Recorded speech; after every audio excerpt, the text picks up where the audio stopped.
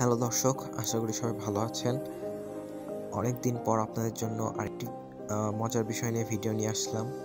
এর আগের ভিডিওতে আপনারা দেখেছিলেন আমি ফাইটার ফিশ ব্রিডিং করিয়েছিলাম এবং এখন আপনারা স্ক্রিনে যে বাচ্চাগুলো দেখতে পাচ্ছেন, এটা ওই ফাইটার ফিশেরই বাচ্চা।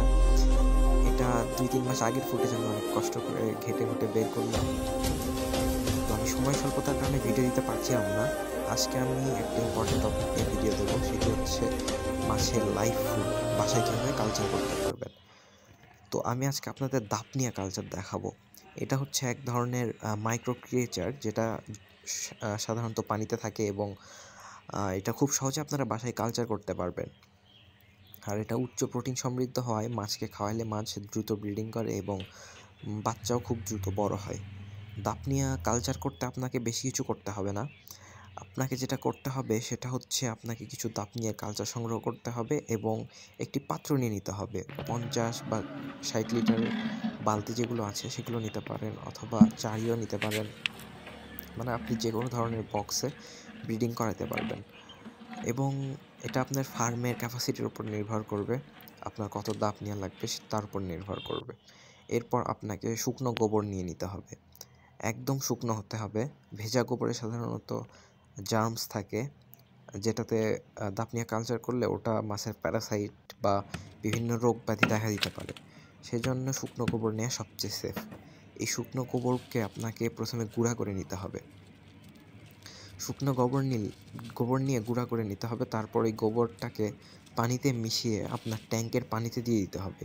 এই শুকনো গোবর যেটা করে, সেটা হচ্ছে সূর্যের আলোতে যখন সূর্যের আলো পানিতে পড়ে, তখন এই পানিতে ফাইটোপ্লাঙ্কটন উৎপন্ন হয় এবং এই ফ্লাংটো ফাইটোপ্লাঙ্কটন দাপনিয়ার খাবার। অর্থাৎ আপনার ট্যাঙ্কে যখন দেখবেন পানি সবুজ হয়ে যাচ্ছে, তার মানে ট্যাঙ্কে ফাইটোপ্লাঙ্কটন উৎপন্ন হচ্ছে এবং এটা আপনার দাপনিয়া কালচারকে অনেক বাড়িয়ে দেবে। সো এবারে শুকনো গোবরগুলোকে আমি একটা পাত্রে নিয়ে গুলিয়ে নিচ্ছি। গোবরগুলোকে প্রথমে ছোট কোনো পাত্রে নিয়ে গুলে নিতে পারেন অথবা একদম সরাসরি বড় পাত্রে দিয়ে দিতে পারেন। তো পাত্রে আপনার পুরনো ওয়াটার ইউজ করতে পারেন। আর পুরনো ওয়াটার না পেলে কিছুদিন স্টক করে রেখে ইউজ করবেন। ক্লোরিন মুক্ত পানি হইলে বেশি ভালো হয়। এরপর এখানে আমি গোবর জলটা দিয়ে দিচ্ছি। এবার কিছুদিন ওয়েট করতে হবে।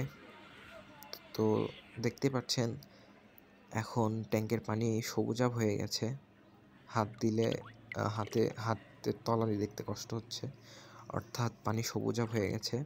এখন তার মানে দাপনিয়া কালচার ছাড়ার জন্য এটা পারফেক্ট হয়ে গেছে। তারা চাইলে এখানে কিছু গাছপালা দিয়ে দিতে পারেন প্রাকৃতিক পরিবেশ তৈরির জন্য। এবার আমি দেখুন এখানে কিছু দাপনিয়া তুলে নিয়েছি। এই যে ছোট ছোট খুদি খুদি এগুলো হচ্ছে দাপনিয়া। একটু আমি সামান্য পরিমাণে দিয়ে দিচ্ছি এখানে কালচার হওয়ার জন্য। এখান থেকে প্রচুর পরিমাণে দাপনিয়া কাল্টিভেট হয়ে যাবে কিছুদিনের মধ্যেই।